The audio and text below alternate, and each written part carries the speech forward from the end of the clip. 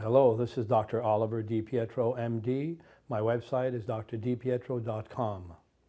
We're going to talk a little about the functions of the cardiovascular system. The cardiovascular system is basically the heart and it pumps blood to the lungs and the rest of the body. We cannot live without a functioning cardiovascular system. Um, so blood is pumped from the right side of the heart into the lungs. It's oxygenated and then goes uh, to the body. Um, there are uh, various um, conditions which affect the cardiovascular system, which could be very serious and others could be very benign.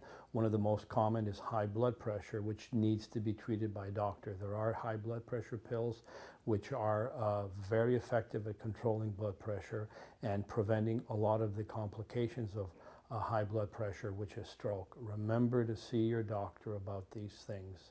This has been Dr. Oliver DiPietro. Thank you for watching.